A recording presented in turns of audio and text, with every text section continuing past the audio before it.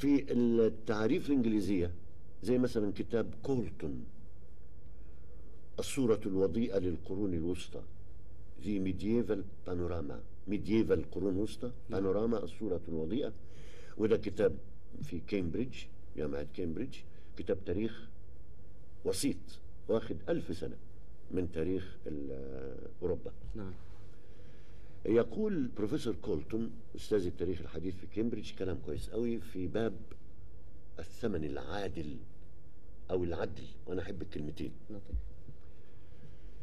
the just price يقول إن usury اللي هي الربا هي هذه اللفظة تفيد المبالغة في سعر الفائدة فوق ما هو مألوف ومقبول ومعتاد.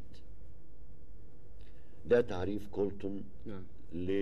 للربا أنه تزيد في سعر الفائدة. في أستاذ ثاني من أساتذة الاقتصاد اسمه ليتلتون كذلك قال نفس الشيء.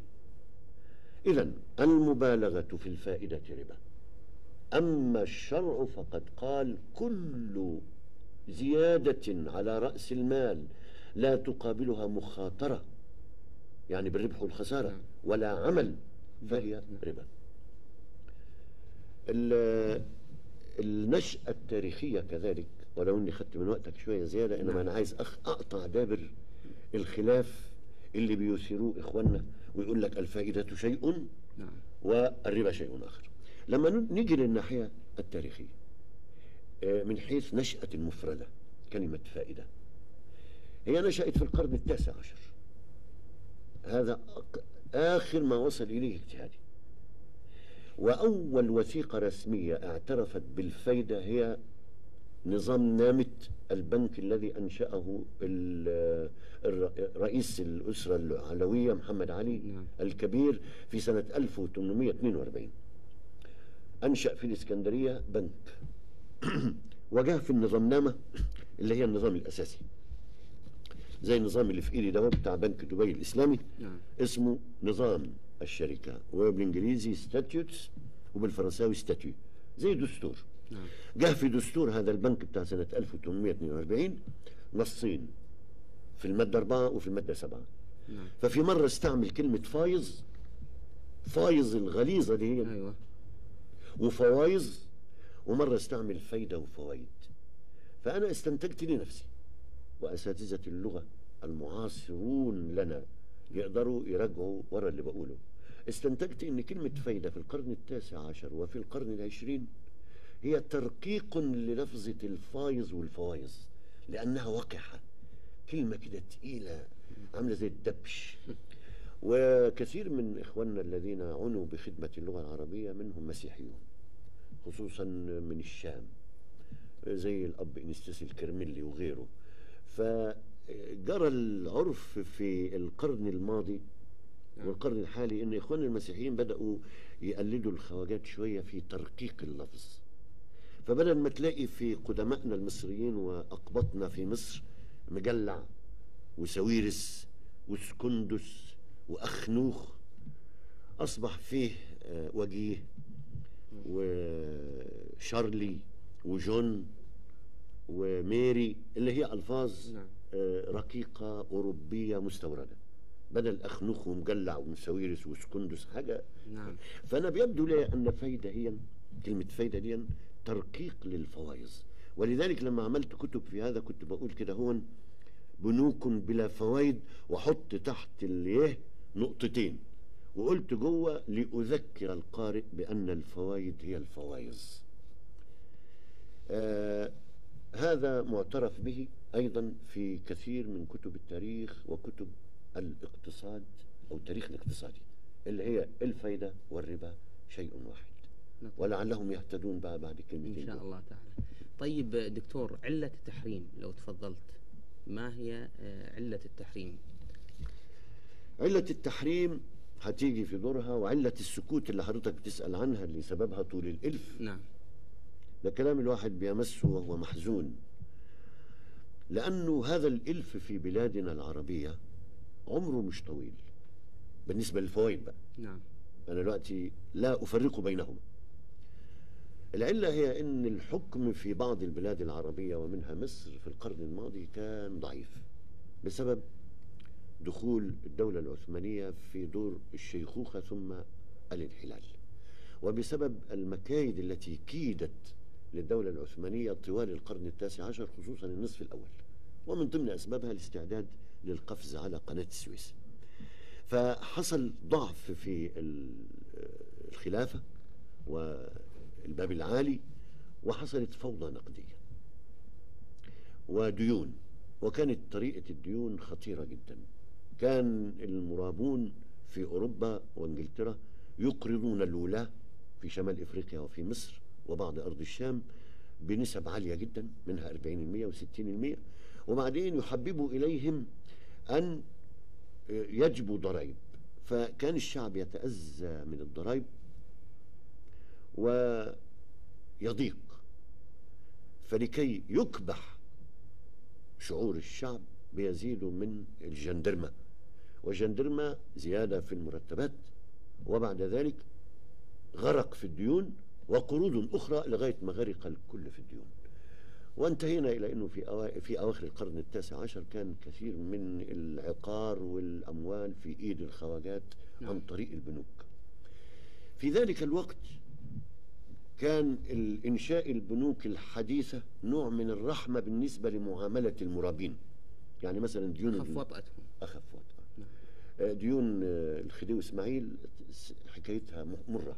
استلف له 110 مليون ما دخل الخزنة إلا 40 أو 45 وصرف على الأوبرا كذا وعلى الطرق كذا وعلى أوجيني كذا. يعني كانت حوسة. لكن البنوك في ذلك الوقت كانت أخف وطأة شوي. لذلك تجد ظهور البنوك في مصر ومن بعدها في بعض بلاد الشام والبلاد العربية عاصر الربع الأخير من القرن التاسع عشر. حتى جاءت إنجلترا واحتلت سنة 82 وأقامت لنا شيئا اسمه البنك الأهلي المصري سنة 1898 منذ ذلك الوقت شعر كل مصري ومن ثم كل عربي بأن البنك أرحم من الفيصبي أرحم من المرابي وألفوا هذا. استبدلوا حراما بحرام.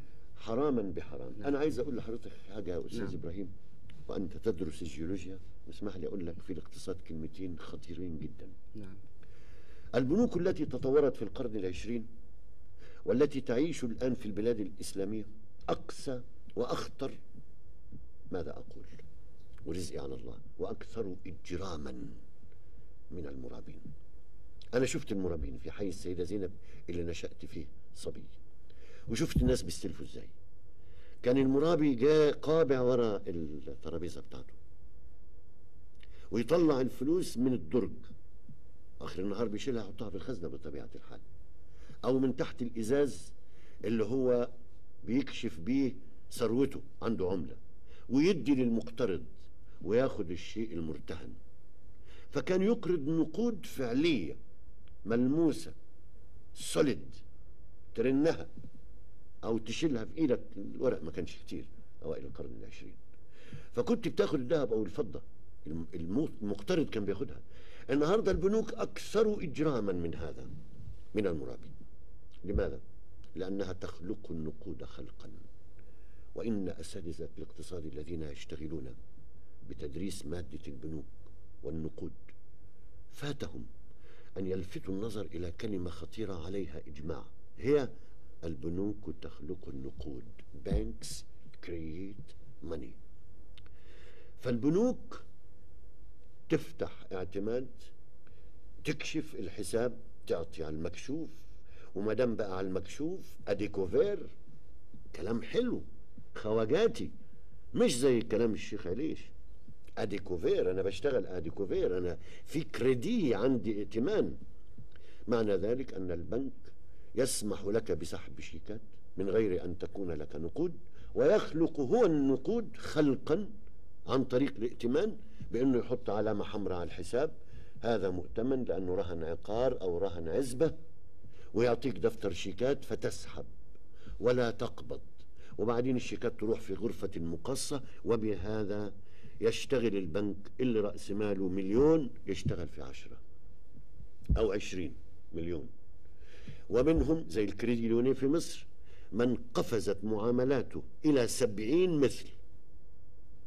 في ظروف حصلت وخربت فيها البنوك زي أنترا. السبب هو أن البنوك تقرض ما لا تملك. طب ما بيقعوش ليه وينكشفوا ليه؟ لأن البنوك أصبحت عصابات. بنك له 10 11 12 فرع في نفس البلد.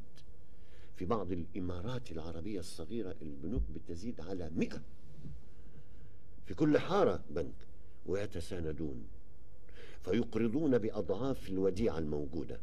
إن كان بنك عنده ودائع خمسة مليون فإنه يقرض الضعف ثلاث أمثال أربع أمثال. إذا اتزنى يطلب من الفروع الأخرى. إذا الفروع الأخرى بتاعته لم تسعفه البنوك الأخرى تسعفه. إذا الكل فشل يلجأ إلى الخارج حيث نشأت البنوك التجارية. وهذا يا عباد الله أهم سبب في التضخم وإلى حضرات وزراء البترول وخبراء البترول الذين يحضرون المؤتمر. المؤتمرات الدورية. أقول إنكم تركتم أكبر سبب في التضخم العالمي وهو الفايدة وهو الربا. أنا مش هقول لكم يمحق الله الربا ويربي الصدقات لأنكم عارفينها ولكن هقول لكم إن التضخم الذي نعيشه الآن في ظله سببه الفوائد. مش لأن العرب حبت تستنقذ جزء من ثمن البترول بتاعها. أنا حضرت بعض مؤتمرات البترول ومنها المؤتمر التاسع حضرت جزء منه لأني كنت مشغول بإنشاء بنك إسلامي. وما سمعت صوتا واحدا يرتفع في مواجهة العالم ويقول إن العرب أبرياء من ظاهرة التضخم. أما الأسباب الحقيقية فكثيرة ومنها الفائدة التي تسمح للبنوك بخلق نقود لا تملكها. طب ومصلحة البنك في كده إيه بيسمح للمدين إنه يسحب مليون وبياخد 12 المية أنا بشبهها أحيانا زي واحد تروح تقول له أنا ولادي محطوطين في الشارع سكننا. يقول لك عناية الاثنين ويطلع ورقة ويرسم فيلا. ويأدي لك اتفضل اكتب عقد الإيجار كتبنا عقد الإيجار. ادفع الإيجار 30 ألف روبية في السنة ولا 40 ألف تدفع. يقول لك اتفضل اسكن. أسكن فين؟ في الورق ده. فإذا جاز لنا أن نتصور أن صاحب العمارة يرسمها ويسكنك فيها جاز لنا أن نقول إن البنوك على حق عندما تخلق النقود خلقا بالائتمان. وتضاعف أرباحها عن طريق أخذ فوائد على نقود لا وجود لها. هذا أخطر ما ورد على الأمة الإسلامية. وعندما يجيء دور الآية الكريمة اللي سألتني عنها نعم. سأبين أن الحرب قائمة. وأن المحق قائم. الإشارة هنا إلى آية في سورة البقرة يجيء دورها إن شاء الله.